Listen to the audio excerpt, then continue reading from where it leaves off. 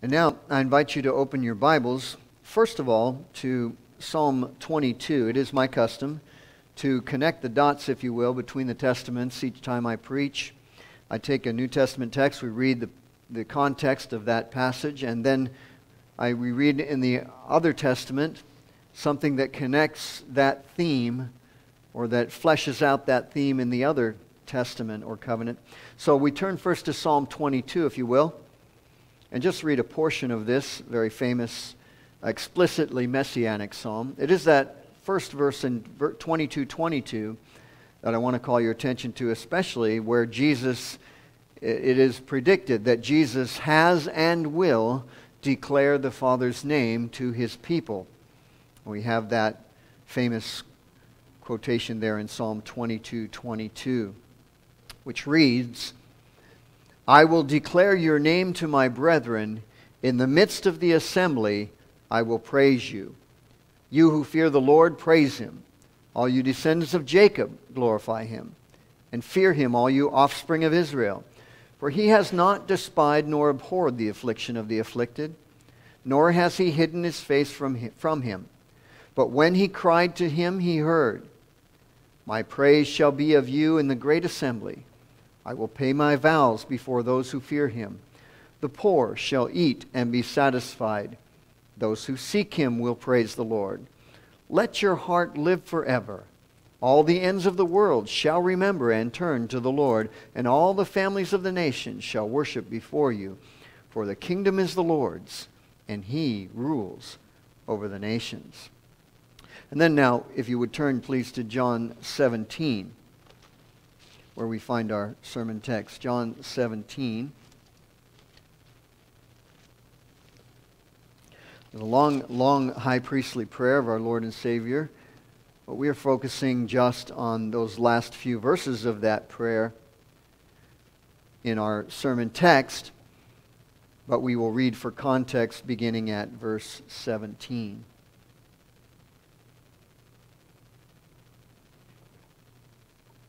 Let us hear God's word. In fact, the words of Jesus himself as he prays. Verse 17 Sanctify them by your truth. Your word is truth. As you sent me into the world, I also have sent them into the world. And for their sakes I sanctify myself, that they also may be sanctified by the truth. I do not pray for these alone, but also for those who will believe in me through their word that they all may be one, as you, Father, are in me, and I in you, that they also may be one in us, that the world may believe that you sent me. And the glory which you gave me, I have given them, that they may be one just as we are one, I in them, and you in me, that they may be perfect in one, and that the world may know that you have sent me and have loved them as you have loved me. Father, I desire that they also whom you gave me may be with me where I am, that they may behold my glory, which you have given me. For you loved me before the foundation of the world. O righteous Father, the world has not known you, but I have known you, and these have known you. Excuse me, these have known that you sent me. And I have declared to them your name, and will declare it, that the love with which you loved me may be in them, and I in them. When Jesus had spoken these words, chapter 18, he went out with his disciples over the brook Kidron, where there was a garden, which he and his disciples entered. And Judas, who betrayed him, also knew the place, for Jesus often met there with his disciples. Then Judas, having received a detachment of troops and officers from the chief priests and Pharisees, came there with lanterns, torches, and weapons. Just that far in God's Word. Congregation of the Lord Jesus Christ, you remember not too long ago. In fact, his, I saw his face on a tabloid even this week at the supermarket. You remember the death of Robin Williams, a celebrity who obviously had no love for our Lord Jesus Christ and therefore no comfort in life or in death. By way of contrast, we, by God's grace, every Christian can say with confidence, My only comfort in life and in death is that I belong, body and soul, both in life and death, to my faithful Savior, Jesus Christ, who with his precious blood has fully satisfied for all my sins and redeemed me from all the power of the devil. There is one benefit that only Christians have, and we have it here. And that is to have not just someone praying for you, but to have our great high priest, the Lord Jesus Christ, praying for you as your intercessor. How awesome that is. And so here we see just before Jesus is about to be betrayed by Judas, we see Jesus interceding for his disciples, filled with tenderness, filled with love for them and for us. And that very fact is visibly displayed before us also today in the elements of the Lord's Supper. We have set before us these visible tokens and signs and seals of our high priest's intercession for us. Jesus prays for us, and we'll see three, three things about that this morning. One, I hope that you have been able to receive an outline that I neglected to put into your bulletins before the service. Jesus prays for us, one, that we will be with him and behold his glory. Secondly, his prayer results in our acknowledging his gracious work. And thirdly, Jesus prays for us that we may have the Father's love and Christ Himself within us. Those three things. Jesus prays for us, first of all, that we may be with Him and behold His glory. That could certainly be a sermon all by itself, but we'll just take it as one part of it, the closing of His prayer this morning. First of all, we see in this verse 24 the scope of this request that Jesus makes to the Father. Father, I desire that they also whom you gave me may be with me where I am. Back in chapter 10, Jesus had already promised that all his sheep have eternal life and shall never perish. Verse 27 of John 10 reads this way My sheep hear my voice, and I know them and they follow me, and I give them eternal life, and they shall never perish, neither shall anyone snatch them out of my hand. And at the beginning of this same discourse that we have in front of us, after the Last Supper, he had already promised in chapter 11 that they would be with him where he was going. Remember also in John 14, Jesus said, In my Father's house are many mansions. If it were not so, I would have told you. I go to prepare a place for you, and if I go and prepare a place for you, I will come again and receive you to myself, that where I am, there you may be also. And where I go, you know, and the way you know. And so, what Christ prays for here in verse 24, beloved, and is what he promises here as well eternal, unbroken union, and perfect, continuous communion with Him forever and ever. Not only in this corruptible body for our sojourn here on earth, but this corruptible body will put on incorruption, the apostle tells us, and we will then spend eternity with our Savior. And what we have this not only this worship service, but the communion service is a foretaste of that special and blessed communion that we will enjoy, that one of your sisters is enjoying already. We read about it this in 1 Thessalonians 4, a verse that you know very well. For the Lord himself will descend from heaven with a shout and the voice of an archangel and with the trumpet of God, and the dead in Christ will rise first. And then we who are alive, alive and remain shall be caught up together with them in the clouds to meet the Lord in the air. And you remember the next words. And thus we shall always be with the Lord. This is what Jesus is praying for here in verse 24 when he prays, Father, I desire that they also whom you gave me may be with me where I am. Jesus will dwell among us as he did in the Garden of Eden with Adam and Eve. He will dwell among us as he did with the disciples for those three years. Imagine having fellowship with Jesus, not only by faith as we do now, but by sight, by sound, hearing his voice, by touch even. Imagine Jesus Christ, your beloved Savior, shaking your hand or placing his hand upon your shoulder. Christ prays for that which is the greatest expectation of every true Christian. That they may behold my glory, he goes on to pray, which you have given me, for you have loved me from before the foundation of the world. When that day comes, we will not see the man of sorrows acquainted with grief that we've read about in his crucifixion. We'll not see he who one despised and rejected of men. We will see Jesus in his majestic, glorified state. And we are told that in 1 John 3, where John writes, Now we are the children of God, and it has not yet been revealed what we shall be. But we know that when he is revealed, we shall be like him, for we shall see him as he is. And John, by inspiration, goes on to describe Jesus as he is in his glorified state in the book of Revelation, chapter 1, where he says that he saw in the midst of the seven lampstands one like the Son of Man, clothed with a garment down to the feet, girded about his chest with a golden band. He had in his right hand seven stars, and out of his mouth went a sharp two edged sword, and his countenance was like the sun shining in its strength. And when I saw him, I fell at his feet as dead.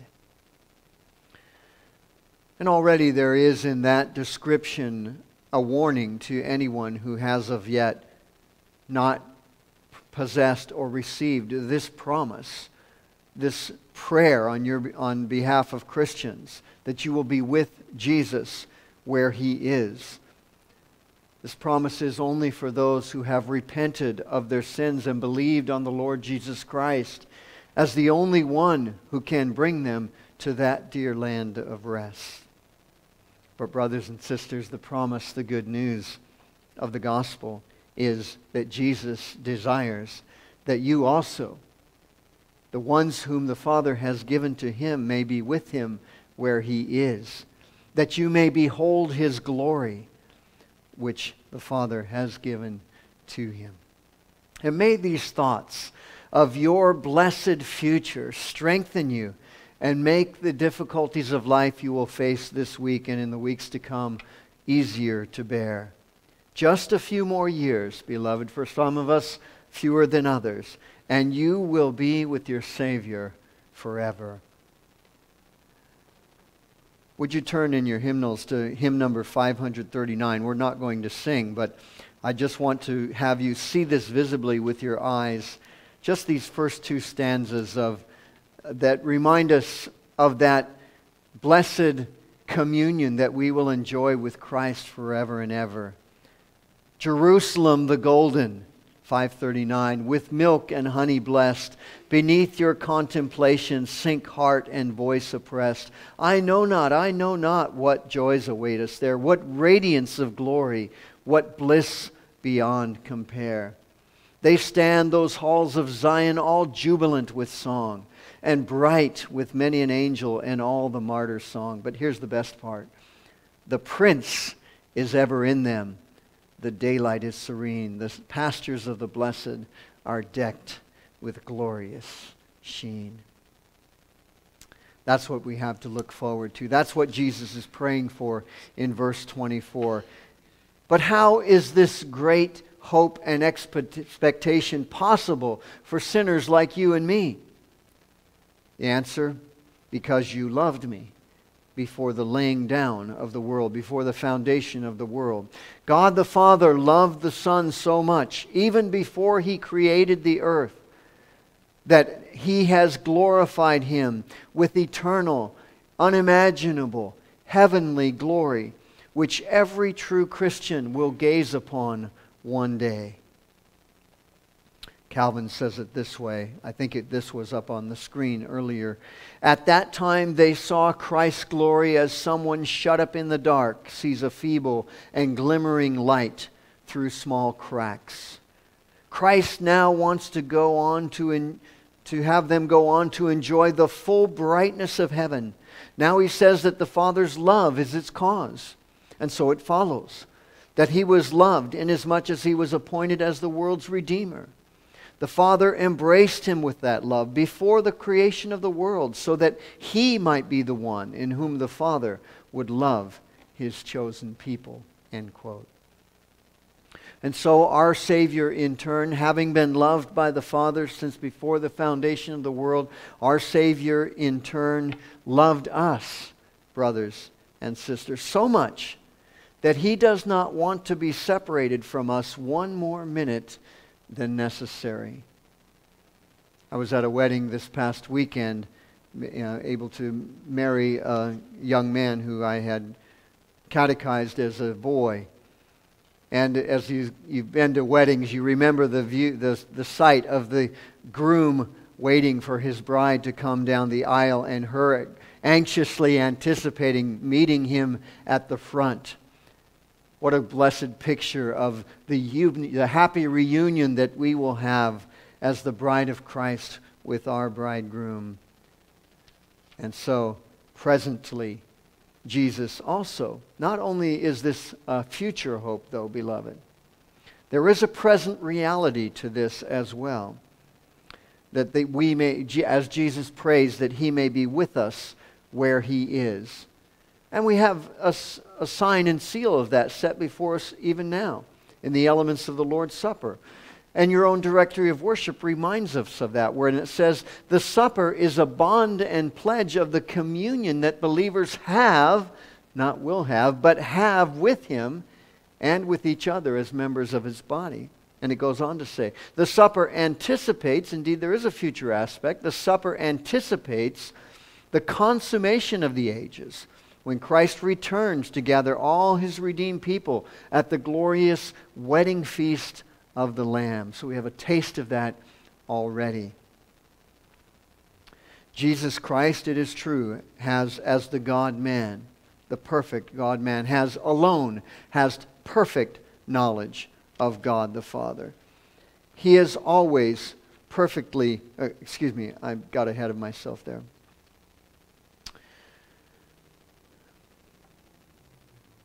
That's the first thing. Jesus prays for us that we will be with him and behold his glory.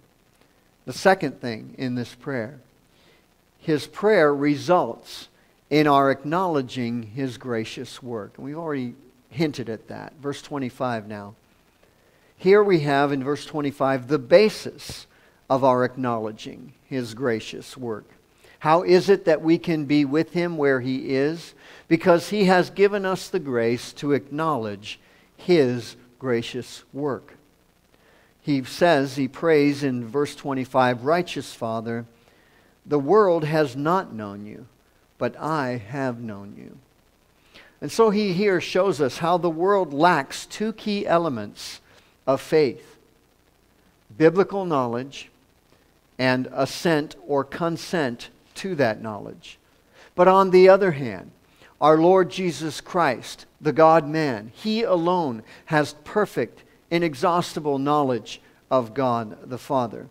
He has always, as our substitute, perfectly assented and consented to all that the Father has revealed. He is the way, He is the truth, He is the life, and no one comes to the Father except through Him. But by grace, beloved brothers and sisters, we do know that the Father sent his Son for us. Verse 25, Jesus says, These have known. The world doesn't know this, but these have known that you sent me. Now, as we think about the context here, the apostles had just acknowledged Christ's person and work. If you turn your page back just a couple a page or so in John 16 29, you hear this confession from their lips. His disciples said to him in 1629, See, now you are speaking plainly and using no figure of speech. Now we are sure that you know all things and have no need that anyone should question you. By this we believe that you came forth from God. They had acknowledged the Son, knowing that such an acknowledgement on their part meant that they too would be abused and possibly even killed. And you too, by God's grace in Christ, beloved Christians, have acknowledged the Son. And so Jesus prays for us, contrasting on the one hand the world who is ignorant of his person and work with his sheep, focusing then us on the Father's love for us in Christ. This is a sobering thought when you think about it. 7 billion people plus in the world, and 90% of the world's population rejects Christ rejects the Lord Jesus Christ. And not only that, but attacks conservative Protestant Christians. But no matter. The Father remains the righteous Father. That rejection does not affect him in the least. But by God's grace alone, through faith alone, in Christ alone, you know that, that the Father has sent the Son. That is an extremely high privilege and honor. You know that He sent His Son to redeem and purchase you, body and soul, from sin and from all the power of the devil. Because the Father is righteous, He applies the merits of His Son to your account in justification as those He has given to Christ.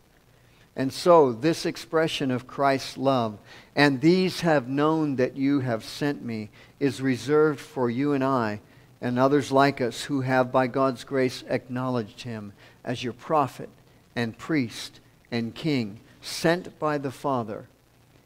You have acknowledged the Father as the one who sent him, and you have acknowledged the Father's purpose and the Son's purpose in becoming our God man Redeemer and Mediator. So rejoice, all you Christians, you who have been made to know that God the Father has sent his Son into the world to save rebellious sinners like you and me from our sins. You have been privileged among, you are among the privileged few in this world who have been given the gift of faith to know that God sent his only begotten Son to bear your guilt and the punishment that was due your sins. Jesus prays for us that we will be with him and behold his glory he pray, his prayer results in our acknowledging his gracious work. And then, lastly, he prays that we may have the Father's love and Christ himself w- within us. Verse 26. He prays that we may have the Father's love and Christ himself within us. He prays, first of all, in verse 26, about his past, present, and future declaration of our Father's name. And I have declared to them your name. Or let me change the emphasis. And I have declared to them your name. Jesus is our chief prophet and teacher. And as such, he revealed the Father, first of all, to the apostles in new ways to new degrees as never before revealed on the pages of the Old Testament. For example, the doctrine of justification fleshed out by the Apostle Paul, the doctrine of the Trinity, so beautifully laid out on the pages of the New Testament, revealing the mystery of that from the Old Testament, just to name a couple. This is one way that Jesus had declared to them in particular the name of the Father. Jesus Christ enabled and caused the apostles to visibly witness and behold in his Son the Father's love, the Father's power and wisdom and knowledge and justice and holiness and goodness and truth and mercy and kindness. And those are synonymous with his name. These attributes of God had been made known first to the apostles. And in the pages of the New Testament, we behold too those attributes of the Father. And when we see Jesus on the pages of Scripture, even in this high priestly prayer, we also see the Father. Jesus said himself, No one has seen God at any time. The only begotten Son who is in the bosom of the Father, he has declared him. In the death of the Son, which we celebrate today again, the love and the mercy and the justice and the holiness of the Father are made crystal clear to us. In the resurrection of our Savior, Jesus declared the power of God to conquer death and sin and the devil more clearly, more loudly than ever before in the Old Testament. In his ascension, he declared the reign of God over his kingdom in and through his Son. That's in the past. I have declared my name, your name. But there's a present declaration as well. He says, I have and I will declare it. Think about that now from that time that Jesus uttered this prayer, now 19 centuries plus later, Christ has declared for those 19 centuries the person and work of the Father to his church. Every Lord's Day, including this one, through faithful preachers, that declaration goes forth. The, that declaration of the name and attributes of the Father.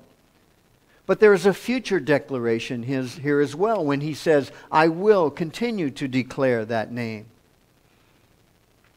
until Christ returns. What a comfort it is to know that your children, your grandchildren, will hear Christ declare the person and work of the Father through faithful preachers. Yes, we worry about future generations of Americans, and rightly so. But one thing is certain, beloved no generation of God's elect will fail to hear his name proclaimed. Jesus prays that we may have the Father's love and Christ himself within us. And so he prays about his past, present, and future declaration of the Father's name. And also, he prays about the purposes for declaring this name of the Father, past, present, and future. The first purpose of the declaration of this name of the Father by the Son is that we might have the Father's love within us. Verse 26 says, Jesus says, and will declare it, that the love with which you have loved me may be in them. And consider the fullness of God's love, the Father's love, as Jesus expressed it in his entire prayer here in John 17. And may I give you a homework assignment here to read this prayer, ch- chapter 17, this week. To sum it up, the Father loves the Son. The Son loves the Father. The Son loves those that the Father has given him. The Father loves those that he has given to the Son. Christians love the Father. Christians love the Son. All of those themes are there in John 17. And so Jesus is praying that you and I might have close and continuous communion with God the Father again represented here on the, in the table of the Lord. Jesus is praying that we might realize and recognize that our Heavenly Father loves us. That we are His beloved, adopted children by grace through faith in His Son. That our Father loves us with the same love which He demonstrated for His only begotten Son. That's what the text says so that we can say every week, week in and week out, though I do not understand, Father, what you are doing in my life, I know that you love me. With the apostle, we can confidently say, we glory in tribulations, knowing that tribulation produces perseverance, and perseverance, character, and character, hope. Now, hope does not disappoint. Why? Because the love of God has been poured out in our hearts by the Holy Spirit who was given to us. For in due time, when we were without strength, in due time Christ died for the ungodly. Christ prays about two purposes for declaring the name of the Father in the past, present, and future. First, declaring the Father's name that we might have the Father's love within us. And secondly, Jesus prays that He Himself may be in us. Verse 26 goes on to say, and I in them. There's a lot in those few words. Jesus explained what he means by and I in them in John 15. And I'll give you one more homework assignment to read that chapter also this week. To summarize, John 15 Christ is the vine. We are, as branches, abide in him. Without him, we can do nothing. But with him abiding in us, we bring forth spiritual fruit. Christ's words abide in us by his grace and spirit. His words in us enable us to be his disciples. Christ's love in us enables us to continue in his love. Another quote from Calvin, please. Quote, strictly speaking, the love that God has for us is that which he had for his son from the beginning. And so it makes us acceptable too and lovable to him in Christ. Apart from Christ, we are hated by God. He only begins to love us when we are united to the body of his beloved Son. It is an inestimable privilege of faith that we know that Christ was loved by the Father for our sake, that we might share the same love forever. End quote. And once again, the Lord's Supper testifies all of that to us.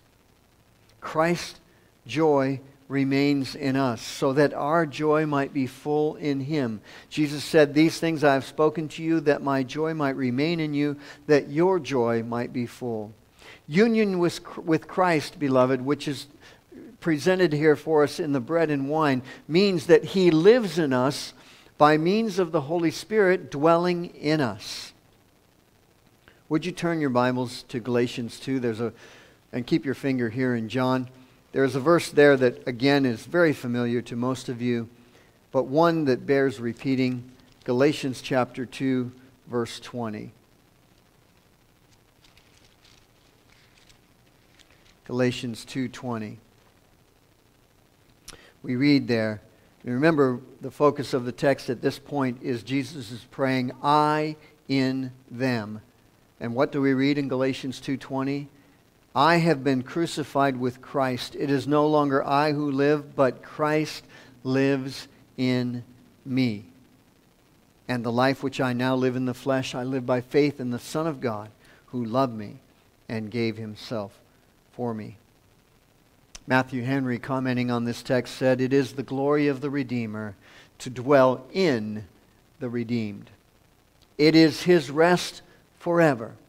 And he has desired it. Let us, therefore, make sure our union with Christ and then take the comfort of his intercession. Brothers and sisters, the Father loves us because the Son lives in us. The Son lives in us because the Father loves us. The Father sees Christ, our head, and sees us, his Son's bride and body. So rejoice as you head home today and throughout this week, and as you come to the table of the Lord now, that Jesus prays for us, Jesus prays for you. He prays that we will be with him and behold his glory. His prayer results in our acknowledging his gracious work. And he prays that we may have the Father's love and Christ himself within us. Amen.